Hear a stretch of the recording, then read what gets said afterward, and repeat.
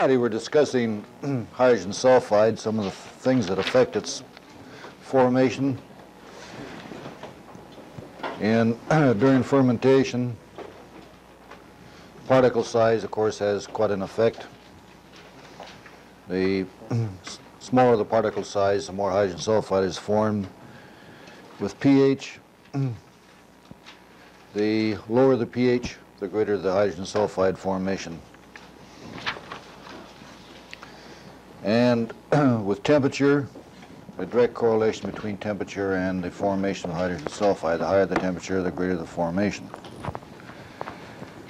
And there was a great difference in yeast strain. I'm just reviewing what I'd covered last Friday.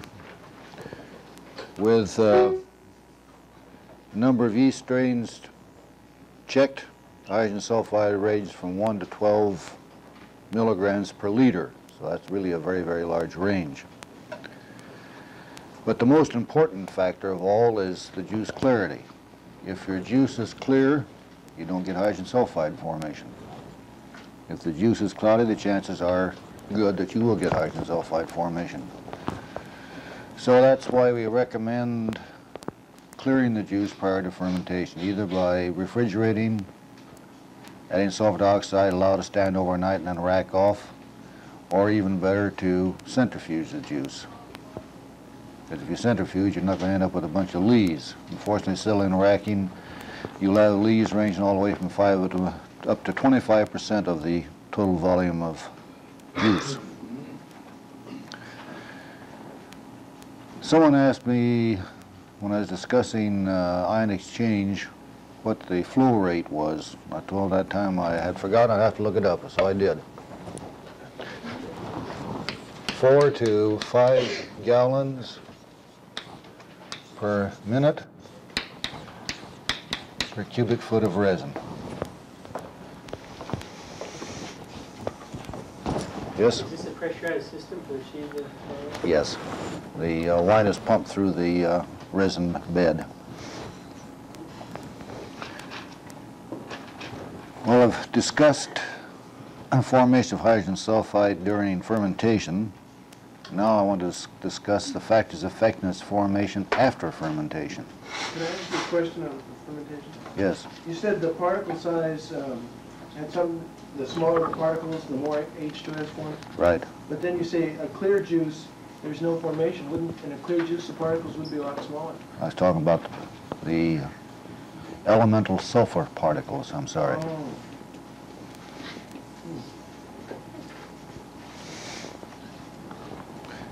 Any other questions or remarks about hydrogen sulfide formation during fermentation? Before we got on to the after fermentation?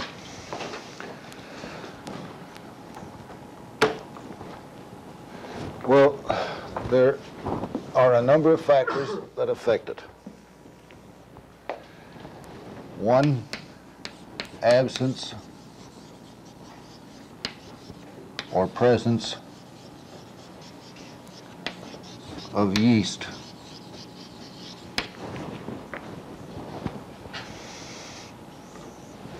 Now, if you have clear wine, and no yeast or yeast sediment present, when elemental sulfur or sulfur dioxide, either one, elemental sulfur, powder sulfur, or sulfur dioxide is added to clear wine in the absence of yeast, no hydrogen sulfide was produced.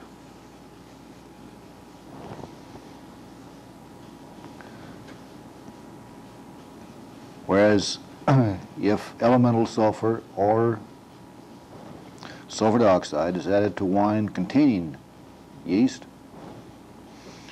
hydrogen sulfide was produced. So that is one of the main reasons why we want to get rid of the yeast and other settling as quickly as possible after fermentation.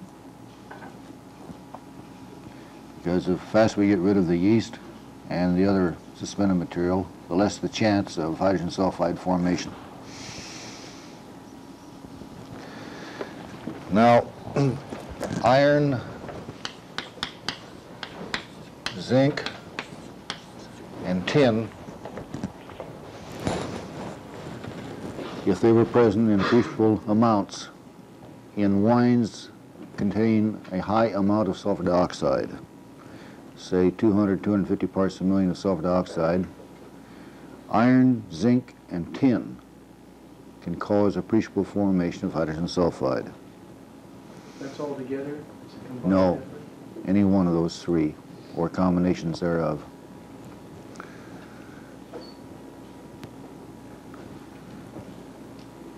Yes? How often is that occur when How often is that going you bring that to occur? How, how does that occur? How is it can? They're just reducing agents.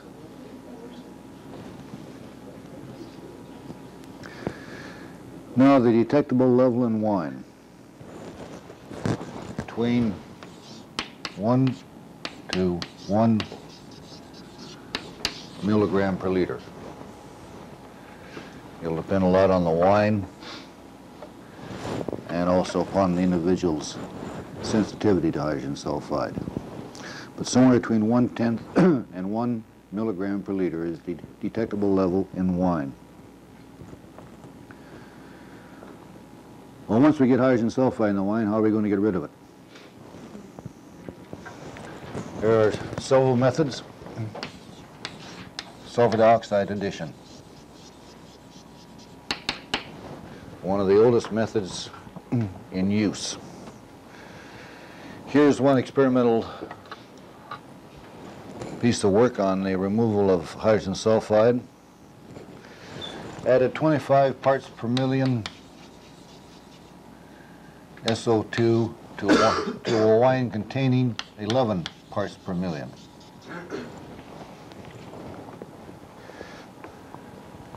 Removed 97% of the H2S, which was initially present in amount of 1.5 parts per million. So the addition of 25 parts per million of SO2 to a wine containing 11 parts per million removed 97% of the H2S. In other words, 97% of one and a half parts per million, and this in a period of five days.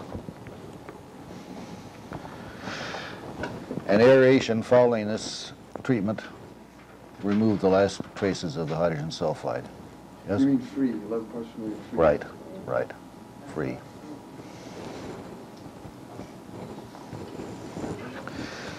Now, the reaction is usually postulated to occur this.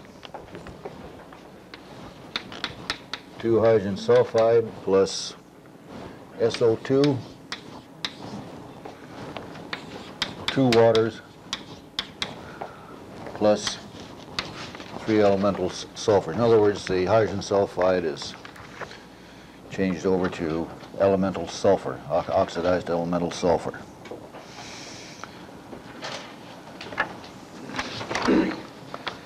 Now, that, as I mentioned, is the oldest method for removal of hydrogen sulfide, add, adding sulfur dioxide and then aerating.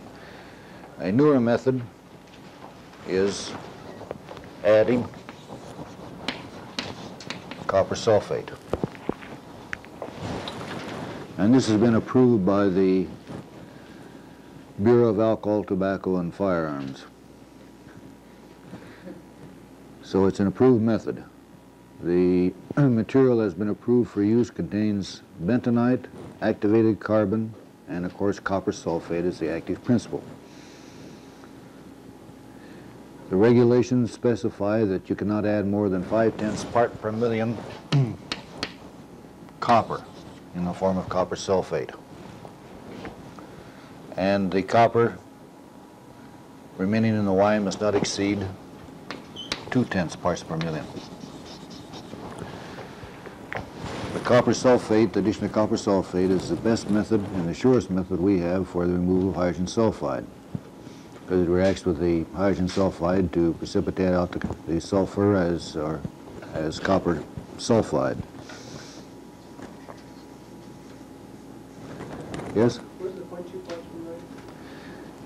You are not permitted to add more than five tenths parts per million of copper in the form of copper sulfite, copper sulfate, And your wine after the treatment must not contain more than two tenths of a part per million of copper.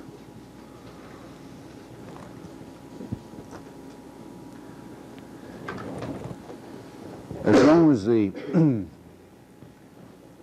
odor in the wine is due entirely to hydrogen sulfide, it's not too bad because ordinarily we can deal with hydrogen sulfide, we can get rid of it. Though it's still better not to have it form in the first place. The danger of hydrogen sulfide is that it changes on standing. and this rotten egg odor hydrogen sulfide on standing over a period of time in storage will change to what is described as a dirty, stagnant, somewhat onion-like odor. And once that occurs, then you do have a problem, because that's very, very difficult to get rid of. And this is due to the formation of mercaptans.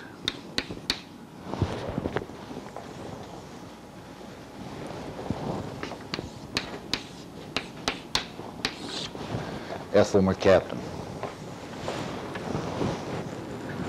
And it's thought to arise from the reaction of hydrogen sulfide, hydrogen sulfide with.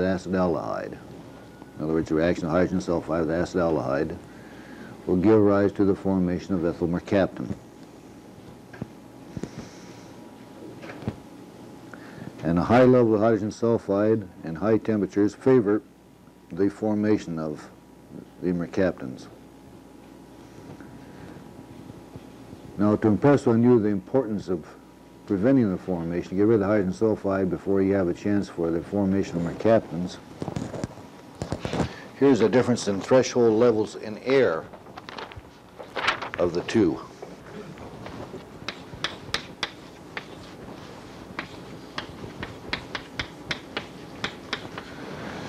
Hydrogen sulfide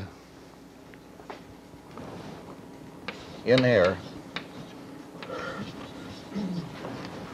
two one hundredths part per million. Mm. Ethyl mercaptan in air, 10 to the minus 7.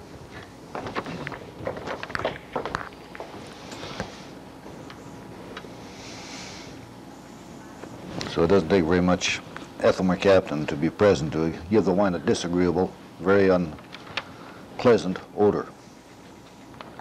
Yes? Um, in this reaction here where you have a formation of sulfur from H2S after you add SO2, um, should you, how quickly should you filter off the wine from the sulfur? You have a chance of going backwards again then. Yes. Get rid of it as soon as you can. Just allow it to sit for five days and then filter? Several days ordinarily is enough. And then fill out the elemental sulfur because there's a chance of it reverting again. And with the um, copper sulfate treatment, well, the material that's prescribed for treatment contains bentonite, so it'll settle out pretty rapidly. And then you can fill it off with that. Yeah, yes? Are the mercaptans formed during fermentation also, or do they just? Ordinarily, they are not formed until after the, the fermentation. the hydrogen sulfide is formed during fermentation and can also form after. You said that ethyl mercaptans are formed from H2S reacting with, reacting with acid- acetaldehydes in the presence of high levels of sulfide? Is that what it is? The high levels of hydrogen sulfide and high temperature favor the reaction. Any other questions on this? Now I want to talk about sulfur dioxide.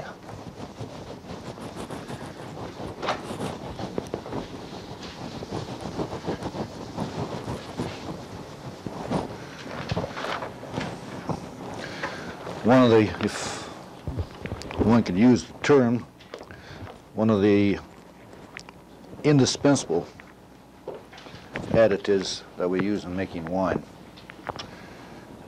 Been a prize posted in France since the early 1900s of, I don't know, $50,000 for it. It's acceptable substitute for sulfur dioxide, and no one's ever claimed it.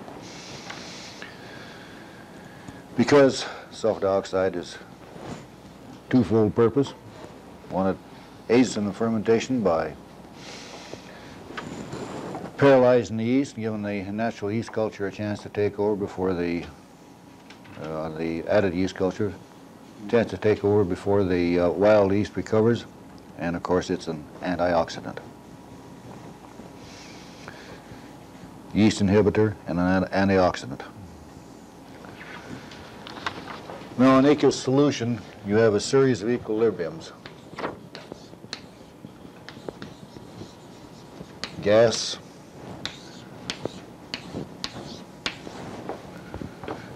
SO2, aqueous. And the SO2 aqueous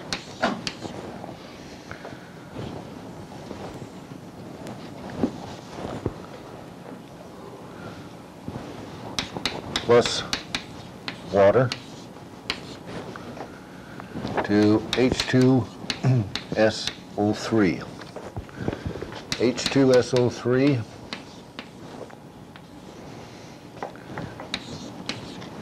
is in equilibrium with hydrogen and the bisulfite form, HSO3.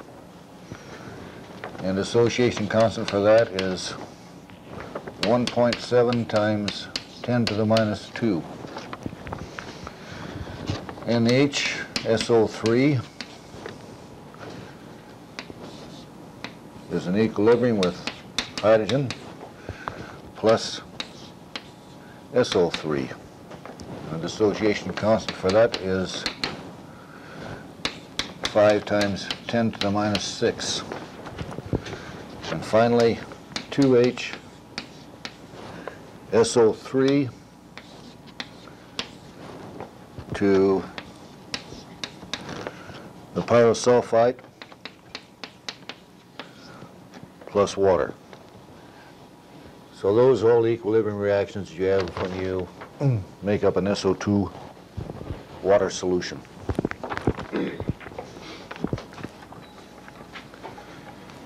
And all forms of sulfur dioxide in this equilibrium are called or known as free sulfur dioxide. Now the bisulfite ion, the HSO3, is one of the most important forms that can exist in an aqueous solution for two reasons. One is that the bisulfite ion can react with aldehydes, dextrins, pectic substances, anthocyanins, and also with sugars containing an aldehyde uh, group to form bisulfite addition compounds. The reason this is important is because it removes the sulfur dioxide from effective use in the solution. It ties it up so tightly that it is no longer effective as an antioxidant or as a yeast inhibitor. And this is usually considered to be the reaction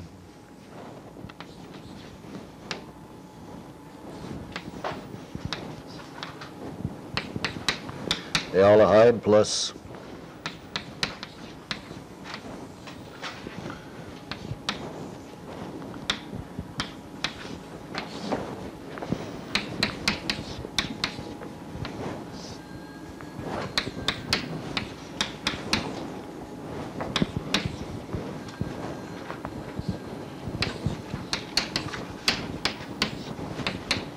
just a simple addition reaction. So that's responsible for diminution of color in red wines if you have a lot of sulfur dioxide added there because it'll add on to the either the two or the four position of the heterocyclic ring and cause decolorization. And as I say, it can be removed from effective action because it's tied up with aldehydes and other constituents.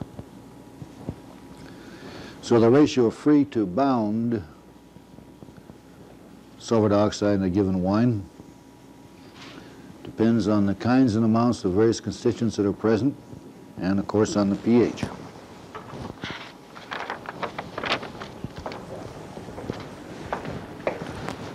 Here's the effect of pH.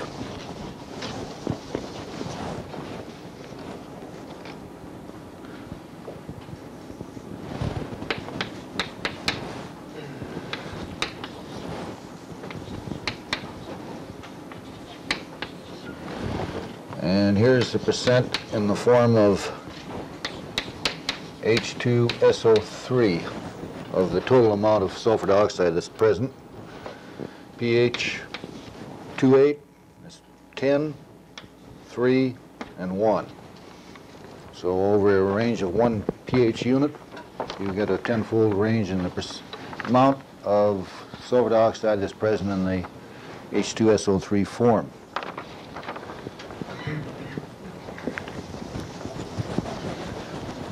And here are some of the substances binding SO2 in solution.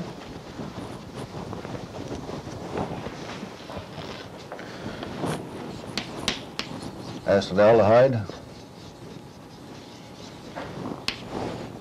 pyruvic acid,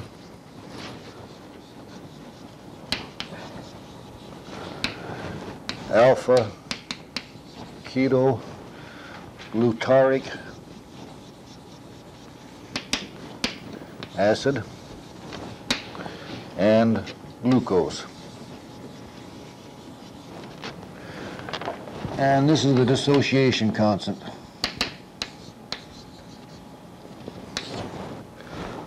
One point five times ten to the minus six, four times ten to the minus four, eight point eight times ten to the minus four, and six point four times ten to the minus one. You can see that acetaldehyde is a very, very strong binder of sulfur dioxide.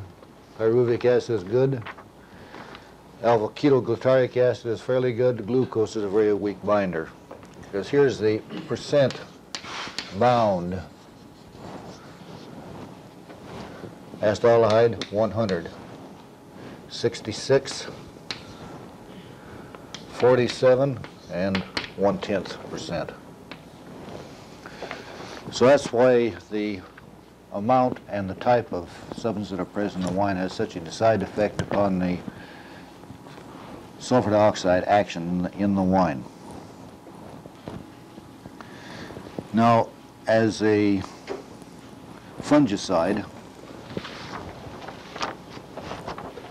here's the order of increasing fungicidal power. SO3, H, SO3, and H2, SO3.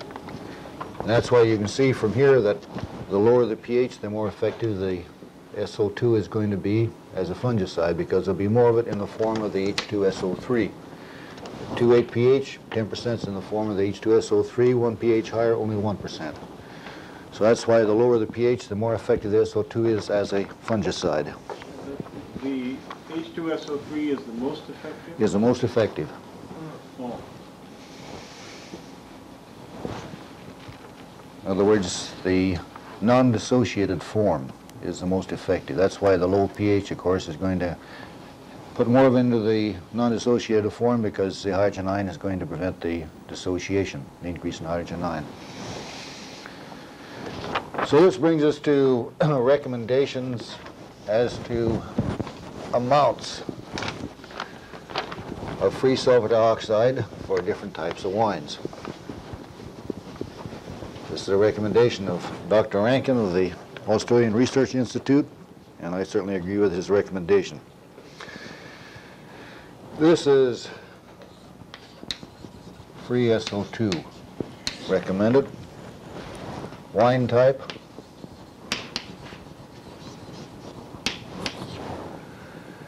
And these are the pH ranges. Less than 3.3, 3.3 to 3.6, and more than 3.6. Wine type, white table. Red table.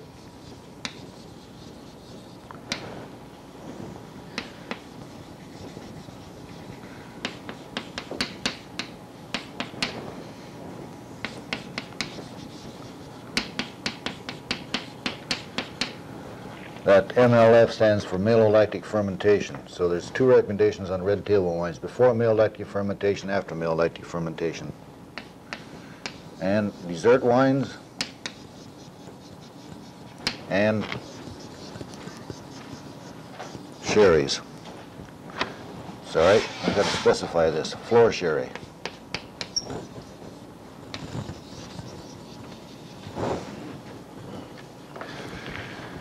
White table wines, less than three, three, 20 parts per million. 40 in this range, and 70 here. So you can see that the pH is very, very important because only a drop of three tenths in pH, you can more than cut in half the amount of sulfur dioxide that's required to give the desired protection. Red table wines before malolactic fermentation, 5, 10, 15. After, 10, 15, and 20. Anyone tell me why we want less in red wines than in white? Why they're ranked? Preserve the color. It's bound by ten. It's gonna be a lot more complex. Any other reason? You want the malolactic to go? No, after the malolactic's over. Because red wines are, contain a lot more of antioxidants than whites. Dessert wines, 5, 10, 15. Flor sherries, 0, 0, 0. Why 0 on flor sherries? Amen.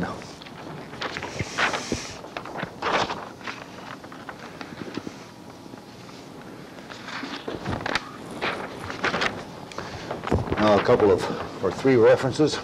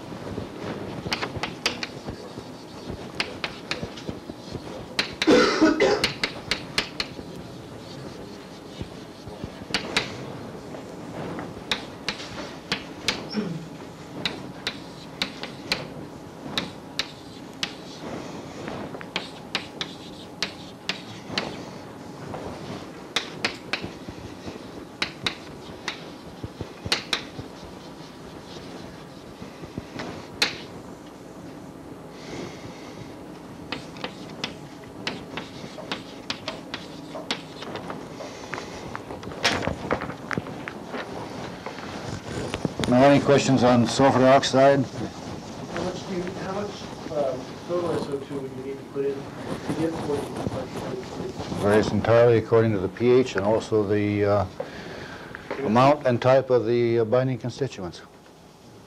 So you sort of have to know what's in the wine Well- much it's going to take. It's possible to analyze, determine the weight percent of acetaldehyde, pyruvic acid, alpha-ketoglutarate acid. That will generally account for about 70 of the binding, 70% of the total binding power of the wine.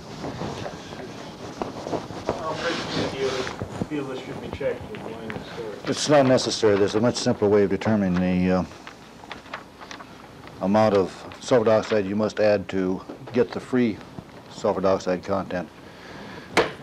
Divide the wine into two aliquots, add a different amount of sulfur dioxide to the two aliquots.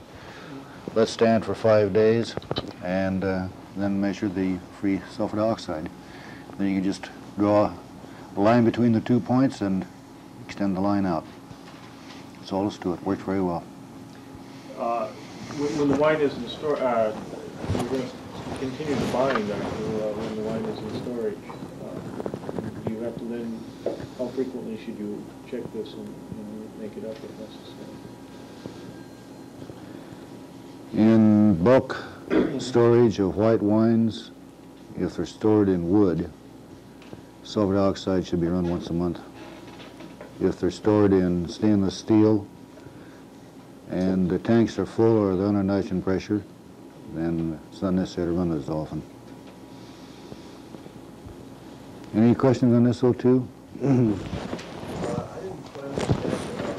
were talking about the fungicides, which, um, the H2SO3 is the one that's That's, that's the one that has the greatest fungicidal action. And that's why the low pH favors the fungicidal action of sulfur dioxide because it limits the dissociation. Well, you had your greater than and less than arrows indicating that, uh, SO3 was a greater fungicide than, uh, than the others.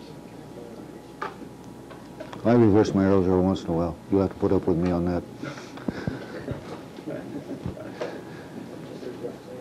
SO2, HSO3, H2SO3 in increasing order of fungicidal power.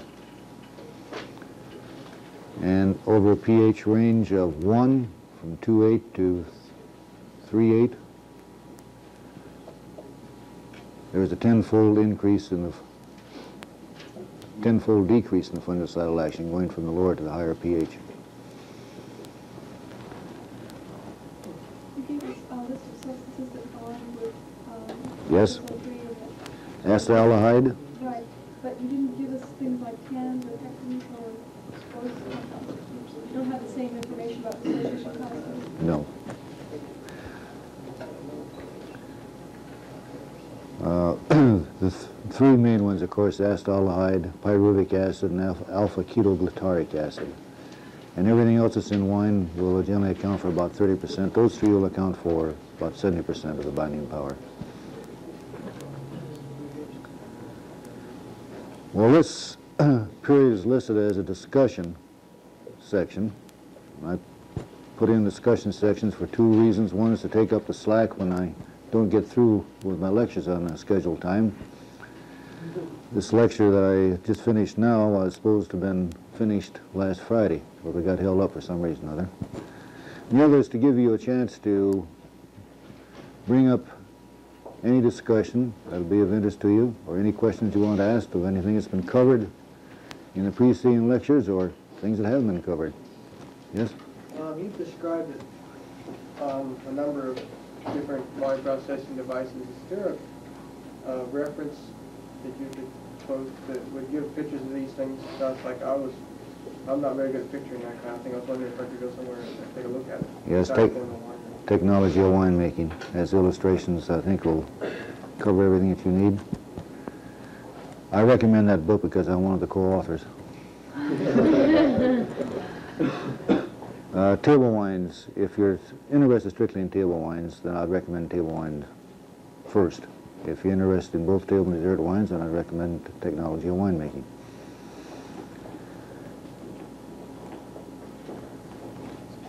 Back on the subject of uh, H2S, uh, when you're talking about adding sulfur to wine after the leaves are gone and seeing whether uh, H2S was formed, are there other things that you could add that would produce the H2S from just a wine? Uh, There was something about, I read somewhere about polysulfides would also in wine give rise to H2S. Well, some uh, recent work done by Brian Crozier presents pretty good evidence that the sulfur does not exist in the wine as hydrogen sulfide or elemental sulfur, that there is a number of forms there and they're all in equilibrium with each other, including the polysulfides. Does that answer your question? Um, I'm not sure. Well, if, if you did add uh, something in the form of polysulfides, would you then get H2S production? Or if that, that was there, would you be getting H2S? You could or you could not.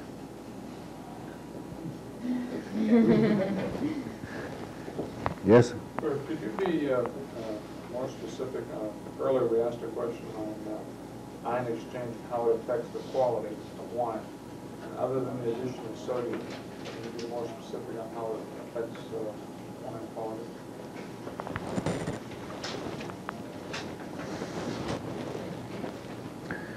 Sodium, increase in the sodium content is the biggest deleterious effect.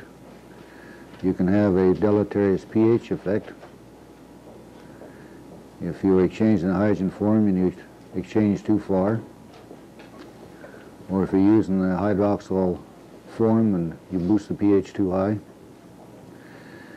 you will also remove some color and some tannic materials from red wines because they absorb quite strongly to the resin.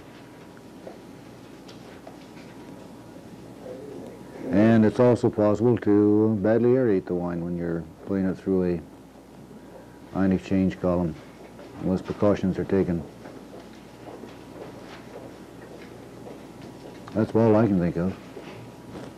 In that respect, if you were uh, growing wine, or making wine in the Central Valley where you had uh, low acid form, would be generally a good idea, and you're making a, a table one, would be generally a good idea to ion exchange them and take the, uh, that is with an acid uh, resin?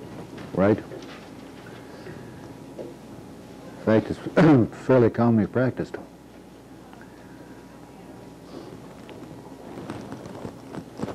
Um, I believe they, we were given some, some maximum amount of pH adjustment you could, where you could use the, like the addition of an acid.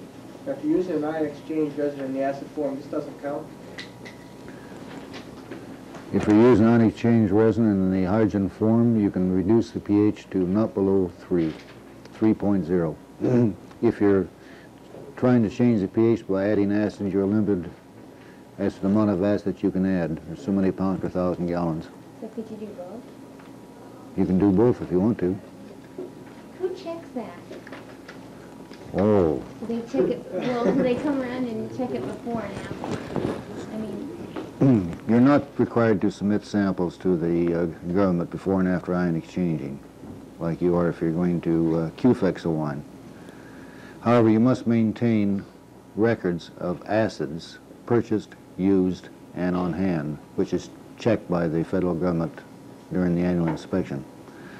But uh, you could change the pH on your wine and get away with it, even if you exceeded the limit, because there'd be no one to check you unless you're so unfortunate as to be uh, caught in the act.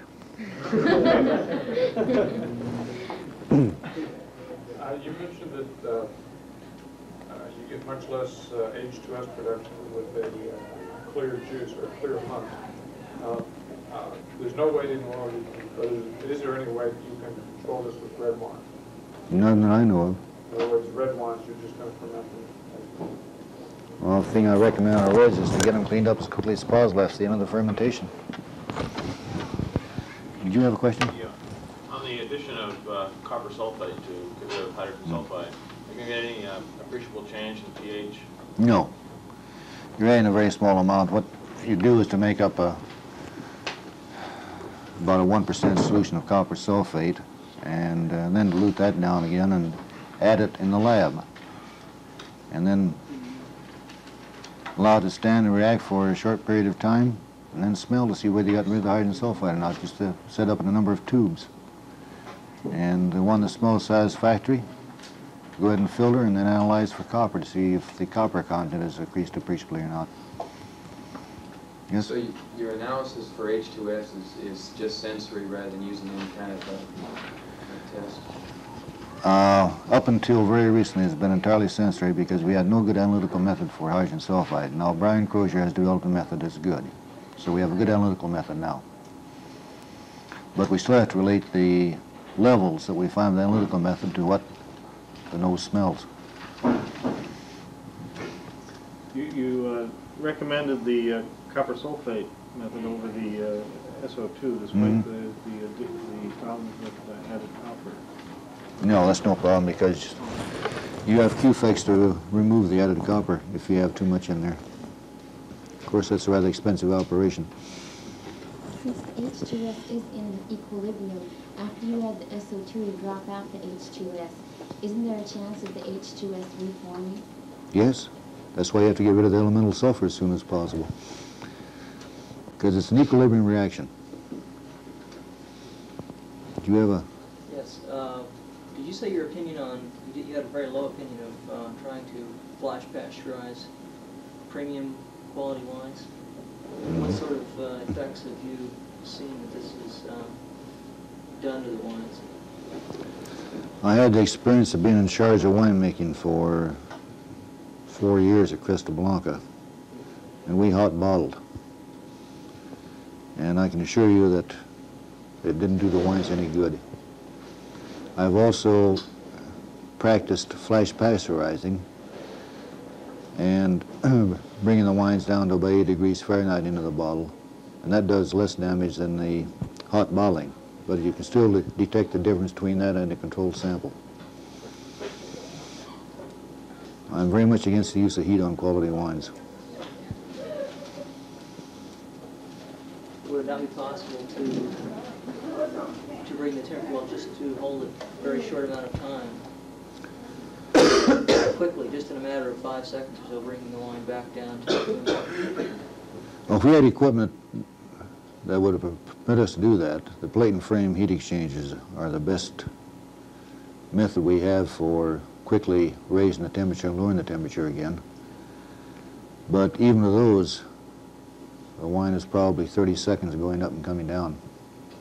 And on delicate wines, you can almost immediately tell the difference in, uh, as a result of the heat treatment. Some wines are robust enough that you can't tell the difference, but as a general rule, heating does decrease quality. Now, one thing we haven't tried, and I think would bear investigating, would be to study the effect of heating in the complete absence of air. Now, we might be able to achieve what we want with heating and not have any deleterious effect if we don't have any air present. But that's a little bit difficult to do, too. Has there any been any, work done with uh, radiant heating or possibly Yes. microwaves? Yes. Uh, Dr. Singleton, I think, investigated practically everything along those lines when he was working on uh, the early uh, stages of his uh, wine aging practice. And uh, he came to the conclusion that everything that you did to the wine was probably bad for it. I think I'm inclined to agree with that. The less we do to the wine, the better off we are. Any other questions? Uh, on refrigeration, uh, you gave us five types circulation in uninsulated tanks and down through cold. Uh, Could you very quickly go over initial cost, capital cost, and operating cost of those? I do not have any figures at my fingertips. I'd have to look it up like I did the flow rate on the uh, ion exchange column. I don't like to clear my mind up with that because I only have a limited capacity in my mind. Well, how about uh, just the method, if you were, if money was no object, and you were Mm. setting up uh, your, cold- how you're going to do your, uh, Yeah, I like that. I like that money no object. As long as they have capital. Uh, What, what method would you use for uh, cold stabilization? The most effective method for rapidly de- depositing tartrates is to circulate in an insulated tank. And that's the method I would recommend. Now, the advantage of a cold room is that you can put wines in the cold room and keep them in there for months. Uh, especially wines that may contain some residual sugar or you may have uh, wines that uh, you bottle very slowly and you have them in partially filled tanks. That's where a cold room really comes in handy. But just from the standpoint of the quickest method of re- reducing the tartrate content, circulate in refrigerated tanks, or insulated tanks, I should say.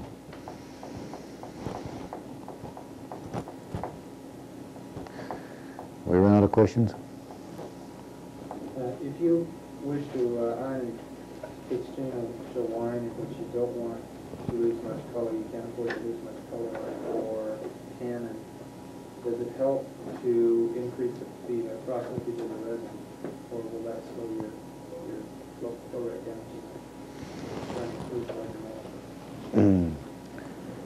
Yes, the, you would tend to exclude the, um, the polymeric pigments. In other words, the dimers, trimers, tetramers, and perhaps larger ones with a highly cross-linked resin.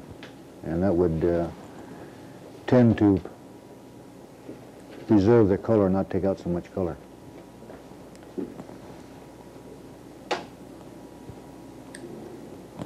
Any other questions?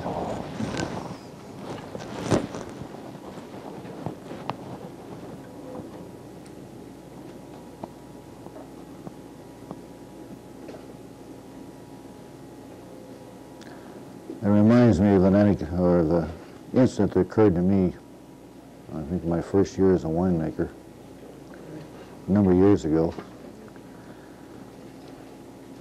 And this is a very old-fashioned uh, operation. There's a winery that had been reactivated that year. Standing empty all during repeal. Wooden fermenters and a wooden trough at the front underneath the fermenter draw off the uh, wine down to um, sumps.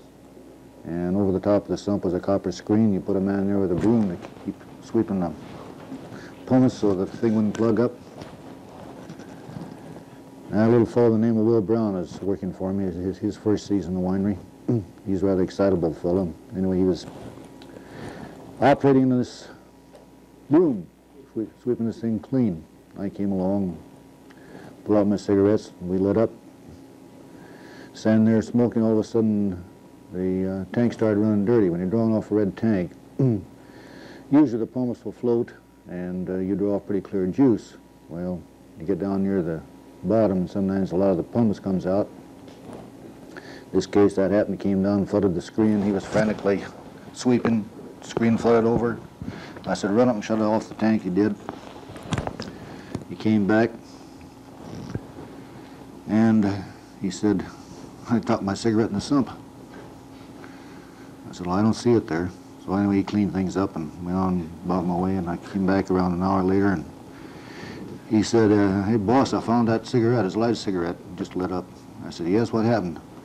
He says, I guess I got pretty excited when that sump ran over. He says, after a while, he said, I didn't feel so good. I went outside and tossed my cookies, and there was that cigarette. the lightest cigarette he swallowed, didn't even know it.